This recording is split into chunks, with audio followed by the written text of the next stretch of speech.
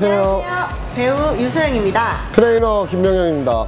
이번 코스모폴리탄 8호로에서는 다리 11자 만들기 운동법을 알려드릴 건데요. 네. 이제 여름에 여성분들이 이렇게 짧은 미니스커트나 이게 핫팬츠들을 많이 입으시잖아요. 네네. 그럴 때 보면은 좀 O자 다리나 음. 알이 있으신 분들도 계시고 많죠, 많죠. 부종이 심하신 분들도 많이 계시더라고요. 네. 이 운동을 하게 된다면 이렇게 많이 완화가 되나요? 그렇죠. 정리될 건 정리되고, 그리고 오자다리나 종아리 알배기고, 부종까지 있는 것들, 그런 것도 싹 정리될 수 있는 운동들입니다. 우리 빨리 그럼 배우러 가볼까요? 그럴까요?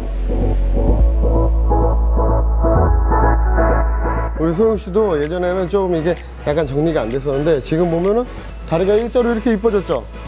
아킬레스건도 살아있고, 예. 이런 거를 이제 이런 스커트, 사람들이 요즘 많이 하는 스커트가 있는데 스커트는 다리가 좀 넓죠? 어깨 넓고 네, 어깨 넓이. 이렇게 넓게 하면 안쪽, 바깥쪽, 이쪽이 너무 많이 되잖아요. 그러면 다리가 꿀벅지가 되는 거예요. 이렇게 네. 그렇죠. 우리는 꿀벅지가 되는 거 원치 않고 일자 다리가 되는 게 이쁘죠. 지금 소영 씨처럼. 그러려면 어깨 넓이보다 좁게 한번 모아주세요. 좁게 한 이 정도 그렇죠. 그리고 그 정도 됐는데 또 이렇게 팔자가 되면 안 돼요. 그렇죠. 일, 딱 일자가 된 상태에서 11자가 된 그렇죠. 상태에서 손을 앞으로 뻗으시면서 힙을 뒤로 빼시면서 무릎을 구부려 주시면 돼요. 그렇죠. 스쿼트 동작이죠. 예, 그렇죠. 우리 소영 씨는 아주 저랑 운동 많이 하니까 이걸 잘하셔. 보통 여자분들이 또 이걸 이렇게 시키면 다리가 이렇게 쭉 붙여져요. 이러면 안 돼. 발끝, 무릎, 어깨 안쪽하고 일자가 돼요.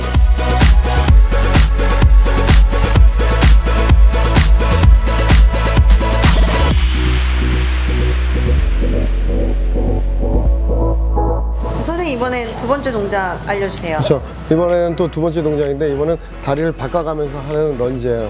근데 보통 런지는 앞으로 진행을 많이 하는데 이거는 백이에요. 제자리에서 할 수 있는.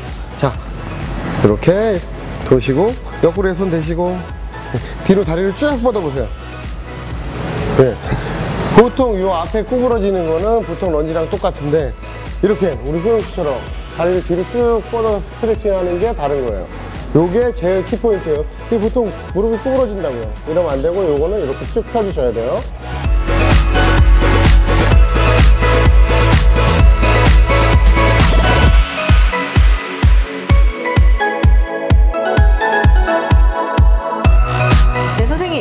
세 번째 동작 알려주세요. 네, 이제 세 번째 동작 알려드릴 건데 힘들진 않으시죠? 어, 지금까지는 아직 괜찮은데 괜찮으시죠? 세 번째 게 어떨지 좀 궁금해요. 알겠습니다. 세 번째 동작은 종아리 뒷부분하고 허벅지 뒤에까지 말끔하게 정리될 수 있는 운동이에요. 뒷라인. 그렇죠. 뒤태도 중요하잖아요. 중요하네요. 그렇죠.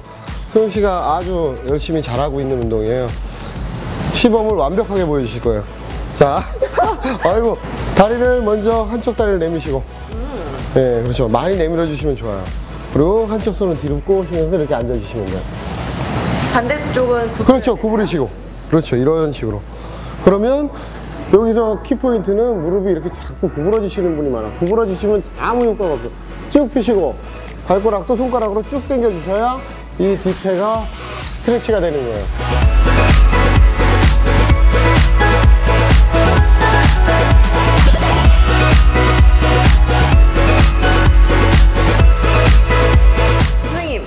네 번째 동작 알려주세요. 네.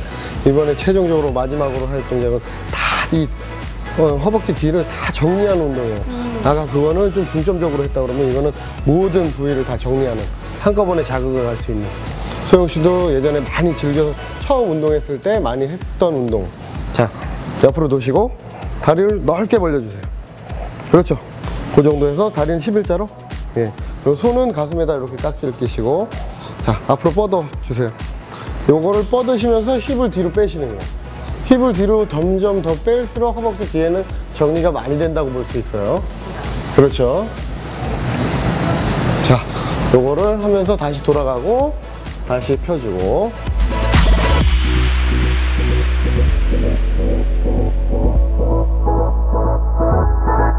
네, 저희가 지금까지 총네 동작을 배웠는데요. 어, 저도 사실 이네 동작을 매일 꾸준히 하고 있습니다. 솔직히 제가 이 효과를 많이 봤거든요. 여러분들도 이네 동작을 꾸준히 매일매일 하셔서 11자 다리를 꼭 완성되도록 열심히 하셨으면 좋겠습니다. 네, 그리고 여름뿐만 아니라 겨울에도 계속 해주시고 꾸준히 해주시면 부종도 사라지고 혈액순환도 많이 개선이 되기 때문에 꾸준히 해주는 게 건강에도 도움이 많이 됩니다. 그럼 저희 인사드릴까요? 예, 안녕히 안녕히 계세요.